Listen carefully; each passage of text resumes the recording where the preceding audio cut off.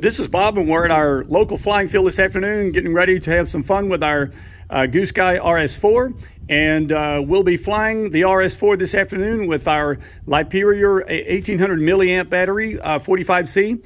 This also comes in a 65C version as well. And uh, that'll be powering us this afternoon, so you can never have too many of these batteries. So I got loaded up on batteries this afternoon so that we can have just flight after flight.